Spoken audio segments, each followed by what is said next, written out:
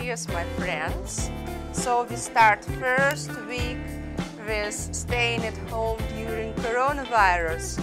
So uh, as you see, I've got enough food. So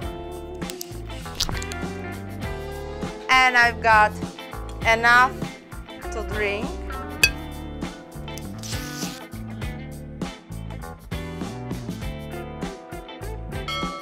I hear that my uh, laundry is ready, so I have to dry my washes.